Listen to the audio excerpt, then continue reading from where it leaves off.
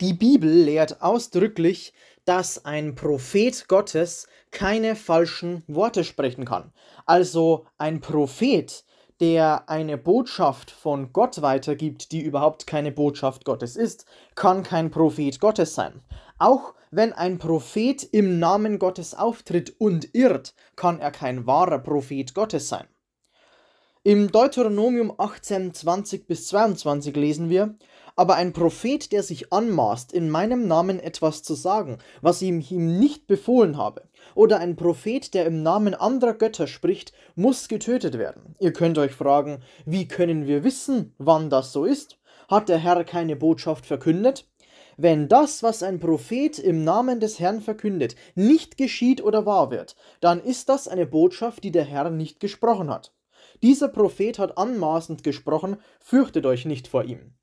Die Bibel sagt also, und das ist das Argument, das Hauptargument gegen die Wahrhaftigkeit eines falschen Propheten, dass ein Prophet, der im Namen Gottes auftritt und Prophezeiungen macht, die später nicht eintreten, ja?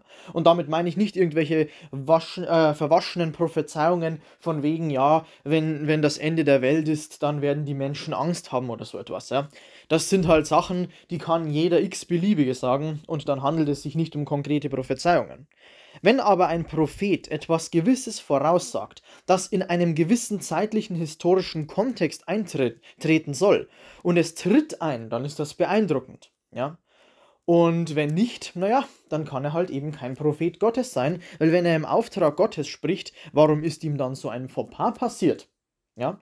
Und dieses einfache Argument der Bibel versteht vermutlich jeder, weil es logisch ist und rational und weil es wirklich eine gute Methode ist, zu prüfen, ob jemand, der sich als Prophet Gottes bezeichnet und solche Aussagen macht, tatsächlich ein Prophet Gottes ist. Das bedeutet, Bibel und Verstand zeigen, ein Prophet Gottes, der im Namen Gottes falsche Prophezeiungen macht, hat seinen Selbstanspruch nicht verdient. Und deswegen wollen wir uns die Sache bei Mohammed einmal ansehen. Mit Hilfe falscher Prophetien, die er getätigt hat, die halt entweder Unsinn sind und gar nicht eintreffen können oder nachweislich nicht eingetroffen sind. Ja, Moment mal, habe ich denn nicht so äh, ein Video schon mal gemacht? Hat der christliche Idealist Demenz? Nein, hat er nicht. Aber ich möchte euch kurz, bevor wir loslegen, noch erklären, warum ich dieses Video noch einmal mache. Ich schaue also heute auf YouTube Studio, um mir einmal so anzusehen, ja, wie aktuell die Daten sind, wie aktuell die Analyse ist, ähm, wie viele Abonnenten ich dazu gewonnen habe. Übrigens herzlichen Dank. In letzter Zeit sind es wirklich eine, äh, ist es wirklich ein erstaunlicher Zuwachs gewesen. Und naja, wie halt die Klicks bei meinen Videos sind, äh, wie viele Likes dazugekommen sind und so weiter und so fort, die Analysedaten.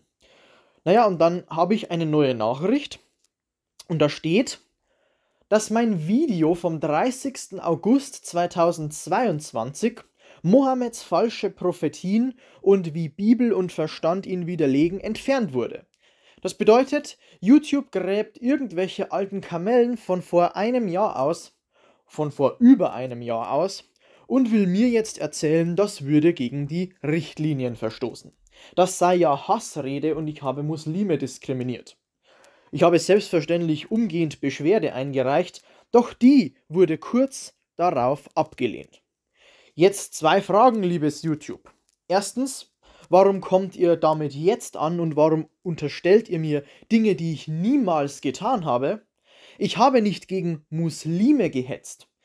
Keineswegs. Ich habe nicht gegen Muslime gehetzt, sondern ich habe lediglich gesagt, dass die Muslime, die sich hier im Westen besonders wohlfühlen und von Dschihad predigen, laut Mohammed Heuchler sind, weil Mohammed wollte, dass seine treuen Leute in den Kampf ziehen. Worum es mir geht, ist nicht die Anfeindung von Muslimen an sich, sondern es geht mir um die kritische Auseinandersetzung mit islamischen Quelltexten. Das müsste doch von der Meinungsfreiheit gedeckt sein, oder nicht? Apropos Meinungsfreiheit, Freiheit, Frage Nummer zwei, die ich mir da stelle. Wenn ihr mein Video von vor über einem Jahr sperrt, weil das angeblich Hassrede sei, warum seid ihr dann bei Abul Bara und Pierre Vogel so langsam, wenn sie mal wieder gegen Christen hetzen, gegen Juden hetzen oder aber so, so etwas sagen wie, naja, ähm, die, die Juden hätten ja den Arabern ihr Land gestohlen und von daher sei es ja schon vollkommen in Ordnung und nur selbst äh, äh, äh Notwehr und Selbstwehr, was die äh, Hamas macht. Warum sperrt ihr dann sowas nicht? Ich frage frag's halt einfach nur, ja. Warum dürfen also solche Leute, Pierre Vogel, der hat äh, für ein öffentliches Totengebet für Amos Osama Bin Laden aufgerufen. Warum dürfen solche Leute bei euch den größten geistigen Dünnpfiff posten, aber ich darf meine kritische Auseinandersetzung mit islamischen Quelltexten nicht veröffentlichen? Könnt ihr mir das irgendwie rational erklären? Aber keine Sorge, ich habe jetzt mal Beschwerde eingereicht. Gut, die habt ihr dann abgelehnt, da war er dann wieder schnell. Aber ich sage euch eins, ich lasse mich nicht unterbuttern und schon gleich fünfmal nicht gebe ich deswegen auf. Wenn ihr also meint, ihr könntet mich mundtot machen, dann habt ihr euch geschnitten, weil ich werde jetzt nämlich das gleiche Video nochmal machen. Ja? Und es ist mir auch nicht so blöd, das mehrfach zu machen. Ja? Und ich werde Beschwerde einreichen und im Notfall auch in höhere Instanzen gehen. Ja? Ich bin wirklich kein Mensch, der gerne Streits oder irgendwelche schmutzigen Kriege und Schlammschlachten sich liefern möchte. Aber so geht's ja nun wirklich nicht. Denn wenn ich keine kritische Auseinandersetzung mit islamischen Quelltexten mehr veröffentlichen darf, warum seid ihr dann so langsam, wenn es um sogenannten islamischen Content auf YouTube geht? Also das sehe ich definitiv nicht ein und deswegen ist auch nicht zu erwarten, dass ich mich dem irgendwie beuge, weshalb es jetzt selbstverständlich losgeht mit diesem Video. Und ich sag's noch einmal, noch einmal ganz deutlich. Es geht nicht um die Anfeindung von Muslimen. Ich habe Mitleid mit Leuten, die in ihr Verderben rennen. Deswegen versuche ich sie über dieses Verderben aufzuklären. Und deswegen setze ich mich auch kritisch mit dem Islam und seinen Quelltexten auseinander. Wenn ich mich kritisch mit den islamischen Lehren und dem Leben Mohammeds aus historischer Perspektive sowie mit der Auslegung islamischer Quelltexte beschäftige, hat das, Vorsicht, hat das nichts mit der Diskriminierung von Muslimen zu tun, sondern mit der kritischen Auseinandersetzung von islamischen Quelltexten. Diese kritische Auseinandersetzung, die finden wir mit der, in der Bibel auch. Ja? Und nur weil islamisch oder beziehungsweise islamistische Staaten das blockieren, müssen wir es in Deutschland auch blockieren? Ich denke nicht. Und deswegen werde ich es auch weiterhin beibehalten. Ich habe nicht die Absicht, Muslime zu diskriminieren. Das ist es doch, was ihr hören wollt, oder? Das ist, was ihr hören wollt. Ihr hört es gerne, weil es auch wirklich nicht meine Absicht ist. Ich habe in meinem Bekannten- und Freundschaftskreis genug Muslime, dass ich sagen kann, ich bin kein Muslimfeind. Ich möchte nur meine persönliche Meinung zu den islamischen Quelltexten sagen. Das werde ich doch wohl noch dürfen, oder? Vor allem, wenn es stimmt, oder habt ihr etwa Angst vor der Wahrheit? Na gut, aber wir beginnen. Zunächst einmal hat Mohammed Folgendes gesagt. Hirten würden hohe Gebäude bauen. Und wenn man barfüßige, nackte, mittellose Hirten sieht, die beim Bau hoher Gebäude konkurrieren, dann würde es ja die Endzeit anzeigen. Ja, und das würde ja äh, letzten Endes beim jüngsten Tag passieren. Das lesen wir in, äh, in das lesen wir in Sunan ibn Maya 63. Ja, da sagt Mohammed dies. Ja, und wenn wir uns damit beschäftigen, der Burj Khalifa ist seit 2008 das höchste Gebäude der Welt. Doch stimmt dieses eine Beispiel mit dem überein, was Mohammed sagt? Ja, ein hohes Gebäude wurde hier errichtet. Doch es wurde nicht von barfüßigen, nackten und mittellosen Hirten errichtet. All diese Details sind falsch. Wer hat diesen Turm gebaut? Es wurde von einem amerikanischen Team gebaut, das sich auf hohe Gebäude spezialisiert hatte. Technisch gesehen wurde es also von Ungläubigen, von Käfirs erbaut, nicht von denen, die Mohammed beschrieben haben soll. Die Stunde, so heißt es, wird nicht kommen, bis es geregnet hat, der alle Wohnungen außer den Zelten zerstören wird, Musnad Ahmad. Heutzutage lebt fast niemand mehr in Zelten. Das zeigt also, dass Mohammed ein Prophet seines Zeitgeistes war, nicht aber der Prophet des allmächtigen Gottes. Und es ist auch nicht so passiert. Und wird es passieren? Wahrscheinlich nicht. Denn wenn Häuser durch Regen zerstört würden, würden es Zelte erst recht. Und so heftig es regnet oder hagelt, heutzutage kann man Häuser solide genug bauen, dass man so etwas nicht befürchten muss. Nächste gescheiterte Geschichte also. Wieder Sunan ibn Mayyad 63, wenn die Sklavin ihre Herren zur Welt bringt. Ja, ähm, das bedeutet, wenn Nicht-Araber Araber zur Welt bringen werden. Ja, dann würde dies ja letzten Endes, ähm, ja, dann würde dies letzten Endes ähm, die anbrechende Endzeit anzeigen. Ja, und naja, die Leute haben das auf verschiedene Weise interpretiert, einschließlich der Aussage, dass Kinder ihren Eltern gegenüber ungehorsam seien.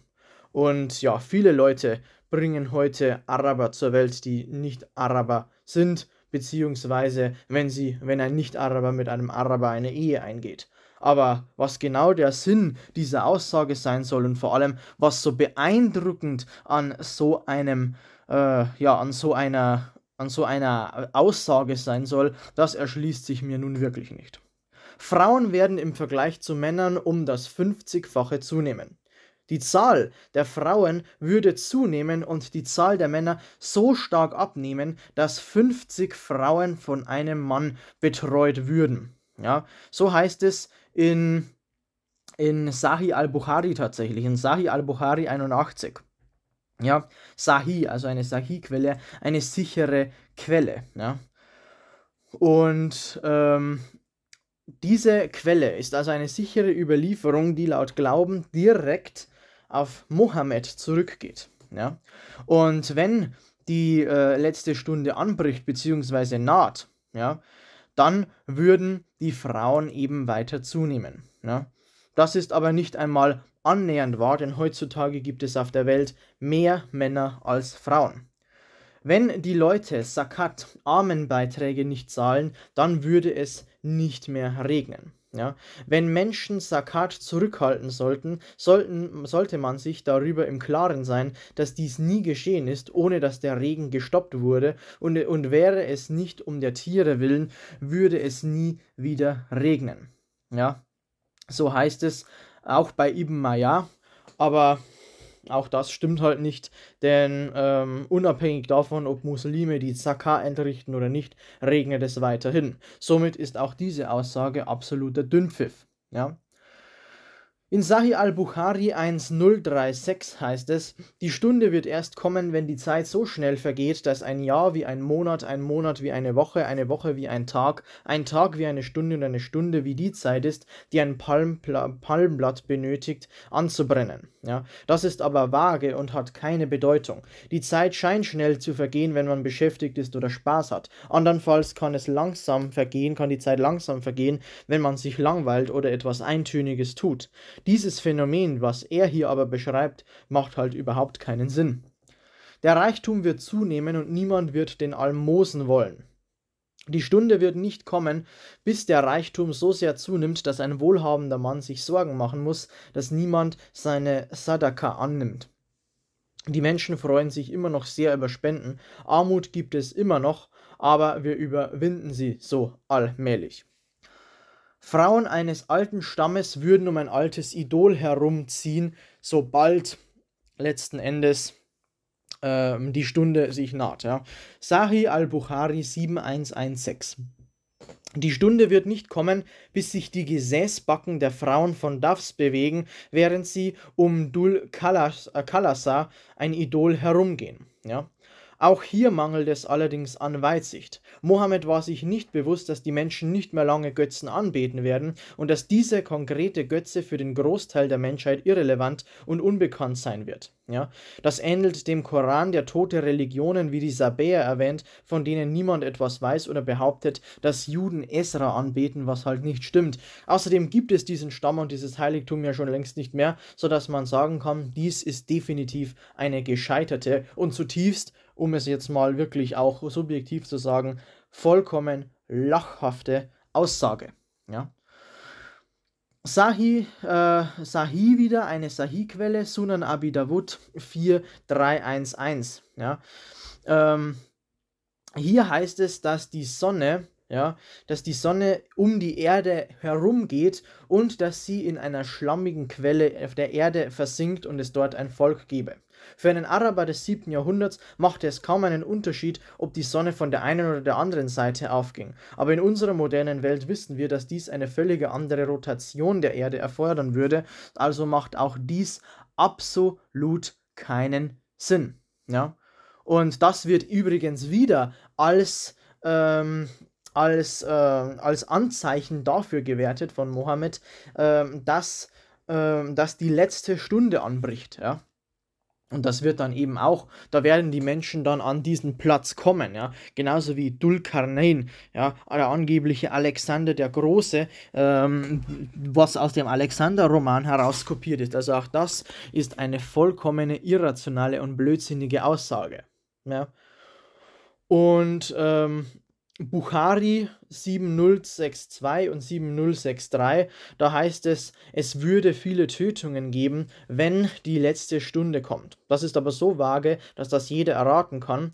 Und ähm, naja, die Zahl der Kriegstoten, ähm, die war zuletzt noch rückläufig und sinkt weiter. Ja? Also auch das ähm, also auch das kann man anzweifeln. Ja, das ist, äh, es ist nicht ausgeschlossen, dass die Kriege eben dann immer weiter aufbrechen. Ja, das wird wahrscheinlich auch so sein und dass es am Schluss dann eben noch mehrere Kriege und auch viele weitere Kriegstote gibt. Ja, aber das ist eben etwas, das auch ich euch sagen kann, das auch die Bibel vorher schon gesagt hat und das einfach etwas ist, was nicht auf Mohammeds übernatürliche Fähigkeiten schließen lässt.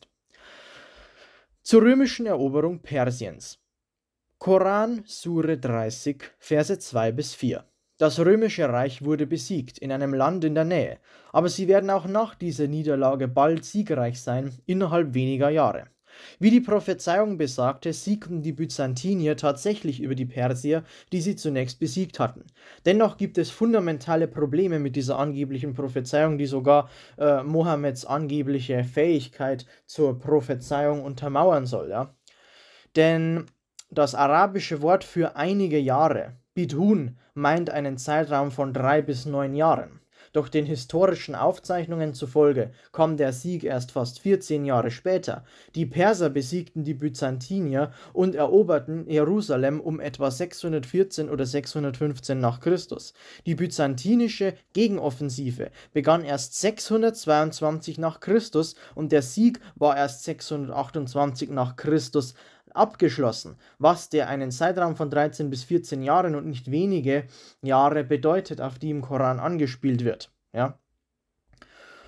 Und ähm, was dann eben auch noch wichtig ist, ähm, was eben auch noch wichtig ist, ähm, ist dann eben, dass es dann ähm, weitergeht Laut Ibn äh, Humayd Salama Muhammad bin Ishaq ibn Shihab al-Zuri, ähm, dass, ähm, dass, es eben dann, dass es eben dann weitere Aussagen gab, wie den Krieg zwischen gewissen Leuten und dem Gesandten Gottes, ja, ähm, und äh, nach dem Waffenstillstand, ja, zwischen diesen Leuten und dem Gesandten Gottes, da wurde gefürchtet, dass man keine Sicherheit mehr finden könnte und man sich dann mit einer Gruppe von Kaufleuten aus Quraysh auf den Weg nach Syrien macht. Ja, und das Ziel sei Gaza gewesen und wir kamen dann zur Zeit von Heraklius Sieg über die Perser an, die in seinem Land lebten. Er vertrieb sie und erlangte von ihnen sein großes Kreuz zurück, das sie entführt hatten. Nachdem er dies gegen sie getan hatte und die Nachricht erhalten hatte, dass sein Kreuz von ihnen gerettet worden war,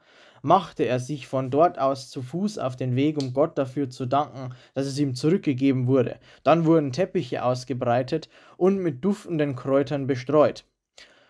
Die Fußnote des Übersetzers lautet: Im Jahr 627 fiel Heraklius in das Persische Reich ein und errang im Dezember desselben Jahres einen wichtigen Sieg in der Nähe des antiken Ninive, musste sich allerdings dann zurückziehen.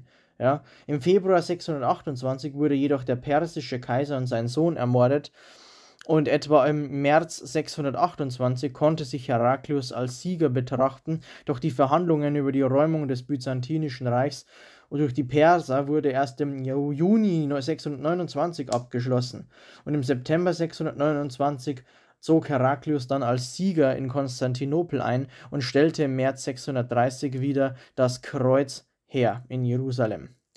Die Hadith-Sammlung von al-Bukhari überliefert eine weitere Bestätigung dafür, dass Abu Sufjans Besuch bei Heraklius nach der Unterzeichnung von Hudaybiyah stattfand.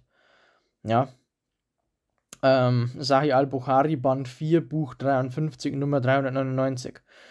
Und der vollständige Sieg Roms wurde auf, wurde auf das Jahr 630 ähm, nach Christus angesetzt. Der ursprüngliche Korantext hatte zudem keine Vokalzeichen. So hätte das arabische Wort, ja, das für, das für sie werden besiegen, ja, dieses Saya Glibuna, ja, das hätte leicht mit der Änderung zweier Vokale wiedergegeben werden können. Ja.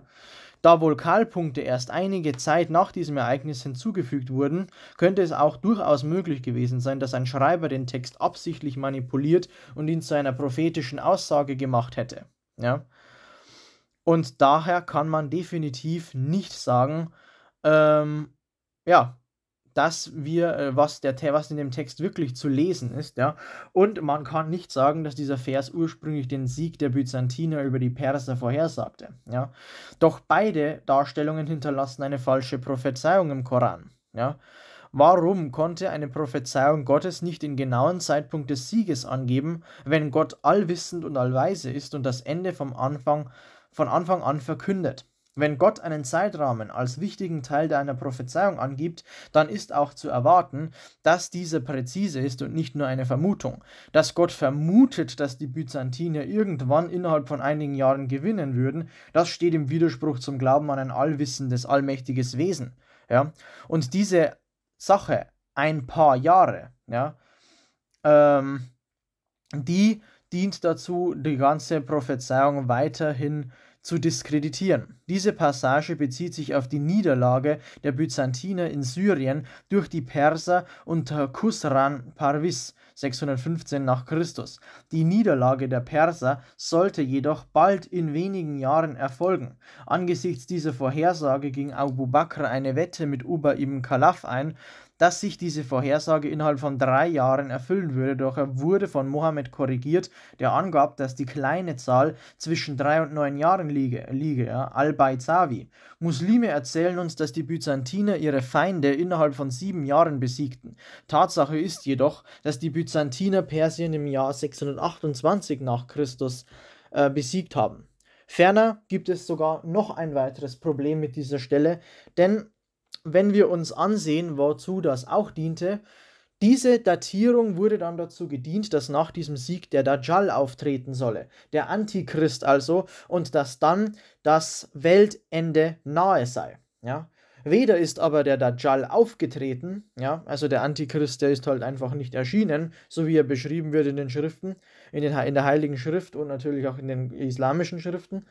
Und das Ganze ist jetzt äh, ja, gute 14 Jahrhunderte her und trotzdem äh, haben wir den Weltuntergang immer noch nicht. Also trotzdem eine komplett gescheiterte äh, Prophezeiung, die überhaupt nichts zu bedeuten hat. Allerhöchstens noch, dass Mohammed ein falscher Prophet war. Ja. Und Sure 28, 27 gibt auch noch ein leeres Versprechen. Ja. Denn Allah hat die Vision seines Gesandten erfüllt, ihr sollt die heilige Moschee betreten, wenn Allah will, mit sicheren Gedanken, geschorenen Köpfen, kurz geschnittenen Haaren und ohne Furcht. Denn er wusste, was ihr nicht wusstet, und er gewährte es. Außerdem ist das ein schneller, außerdem ist das ein schneller Sieg. Ja, dieser Vers wurde im Zusammenhang mit dem gescheiterten Versuch der Muslime offenbar nach Mekka einzudringen, um den Tawaf durchzuführen, das Ritual während des Hajj, bei dem man zwischen zwei Bergen hin und her läuft und an Hagas Wasser holen für Ismail erinnern sollte.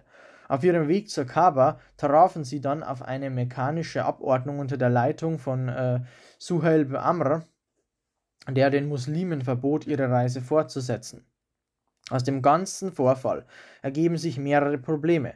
Mohammed stimmte bei der Unterzeichnung des, Hudai, äh, des Hudaybiyah-Vertrags den heidnischen Mekkanern zu, diejenigen, die zum Islam konvertiert waren, an sie zurückzugeben. Gleichzeitig beugte sich Mohammed auch, in dieser, äh, auch ihren Forderungen, seine Unterschrift Muhammad, Gesandter Gottes, durch Muhammad, Sohn Abdullahs, zu ersetzen, damit er im folgenden Jahr nach Mekka pilgern dürfte. Ja, Sahih al-Bukhari, Band 3, Buch 15, Buch 50, Nummer 891. Ja. Und einer derjenigen, der mit den Heiden nach Mekka zurückkehren musste, war Abu Yandal, Ibn Ishaqs Sirat Rasulallah. Ja. Seite 505 sagt uns, dass, äh, dass dieser, dieser, dieser mechanische Vertreter und Verfasser des Vertrags Abu Yandal sah, aufstand und ihm ins Gesicht schlug, ihn am Kragen packte und sagte, Mohammed, die Vereinbarung zwischen uns wurde geschlossen, bevor dieser Mann zu dir kam.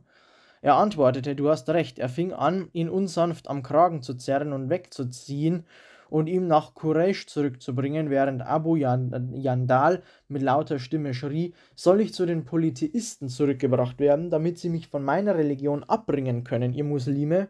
Ja, und das verstärkte die Niedergeschlagenheit der Menschen. Ja.